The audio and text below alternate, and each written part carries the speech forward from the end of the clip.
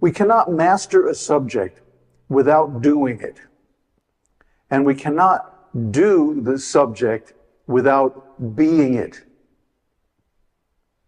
That's where our Western philosophy has led us down. Descartes' idea of I think, therefore I am is completely backwards. The Cartesian split between the mind and the body, between knowledge and action, is completely wrong. Why?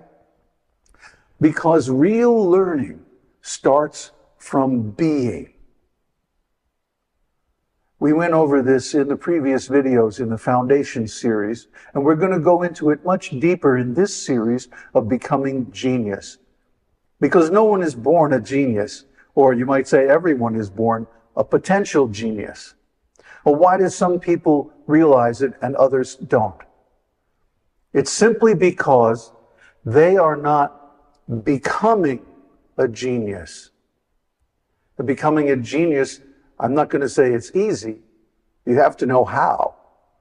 But once you know how, it's simply a matter of methodical application of certain principles. And we're going to go into those principles deeply in this series. If one wants to become a doctor, you have to enroll in medical school. You have to go through a lot of book learning.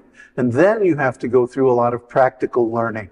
Finally, you have to be approved, evaluated, and stamped a doctor by a panel of judges, all of whom are practicing physicians themselves. The same is true of enlightenment.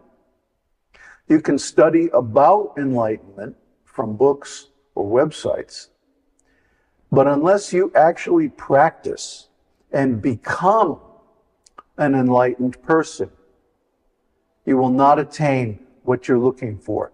This series of videos is how to become a genius in any field that you choose.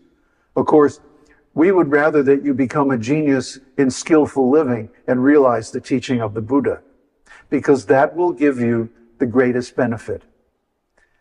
So, what is skillful living and what is becoming a genius? Well, let's talk about it some more.